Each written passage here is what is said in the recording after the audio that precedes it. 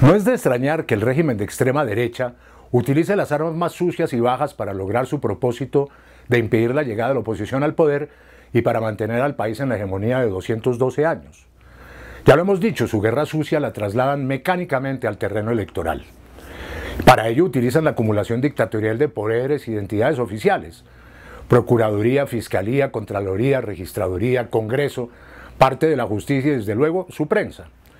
Las denuncias en este sentido se han multiplicado entre más se acerca la jornada electoral del 13 de marzo para elegir Congreso y escoger candidato presidencial en las coaliciones. Y el objetivo civil y militar es Gustavo Petro y el pacto histórico.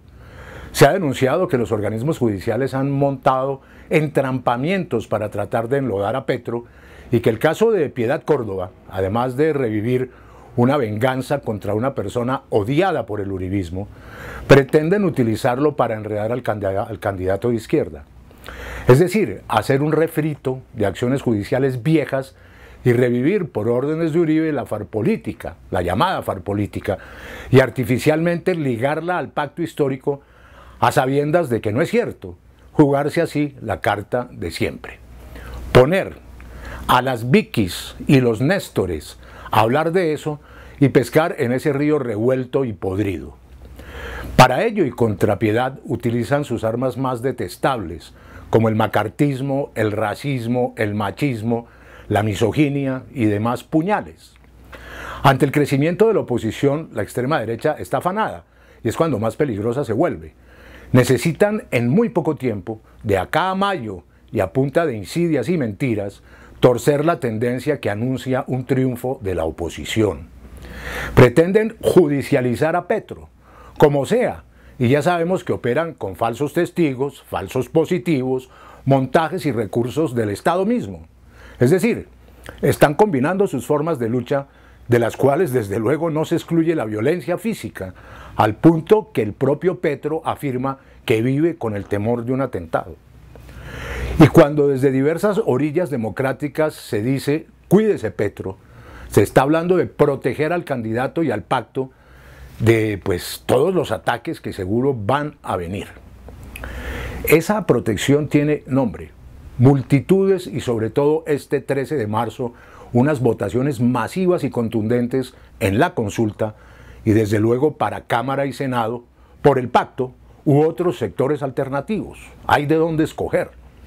Unas mayorías funcionan como talanquera popular a las pretensiones de destruir física y moralmente a Petro y al pacto y a la oposición.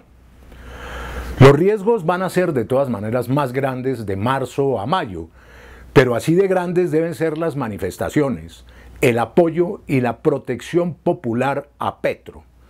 Desde luego, hay que contener otra violencia que es fundamentalmente paralela a todo esto, el fraude electoral en todas sus expresiones, y contener también a punta de urnas las presiones de los gringos que se oponen al cambio y, por ejemplo, imbecilidades como las de Andrés Pastrana, que en su perverso delirio dice que el fraude será de la registraduría pero a favor de Petro. Hágame el favor la imbecilidad. El 13 de marzo entonces no solo está en juego el Congreso, sino el destino mismo del país. Hay que tomarse esas elecciones eh, mucho más seriamente por ahora que las propias presidenciales. Con un último esfuerzo, sumada la oposición, el pacto, los verdes, liberales, indígenas, afros y demás, pueden ser mayoría, sobre todo en el Senado. Ese voto es definitivo y debería ser una antesala que marque con una contundencia la primera vuelta presidencial, para que quizás y ojalá sea una sola y evitarnos el peligro de ese tiempo enorme hasta el mes de mayo, en el cual la hegemonía extremista puede hacer lo que sea para detener el futuro. Para ganar en primera vuelta, el candidato deberá obtener la mitad más uno del total de los votos válidos, o sea, el 50,0001%. Con un censo electoral de 39 millones de personas y una abstención que más o menos es del 45%, el total de votos sería de en torno a los 23 millones y la mitad sería 11 y medio millones más uno. Desde luego, esto es tan solo una aproximación. La abstención puede subir o bajar, lo mismo que los votos no válidos. Y se debe tener en cuenta en ellos los jóvenes nuevos inscritos menos voto en blanco seguramente, mayor politización del país, que es una ventaja enorme, variables que todas cuentan.